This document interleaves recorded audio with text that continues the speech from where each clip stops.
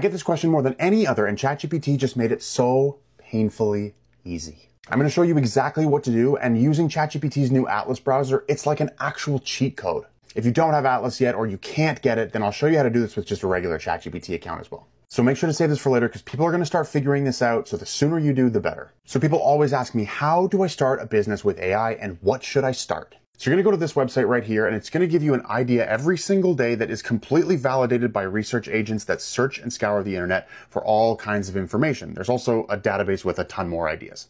Then you're going to scroll to the right hand side of Atlas and you're going to click Ask ChatGPT. And what you're going to do is just paste in this quick and easy prompt. Given all the information on this website, give me three startup business ideas or apps that I could vibe code using Bolt.new. And if you don't have Atlas, you can just copy and paste this link into your ChatGPT. Now what you're going to see are three business ideas, and the one that we actually picked is called Slot Saver, which is a dynamic booking optimization for wellness businesses. So basically turns any last minute cancellations into bookings. Then what I did is I asked it to create me a full PRD or product requirements doc.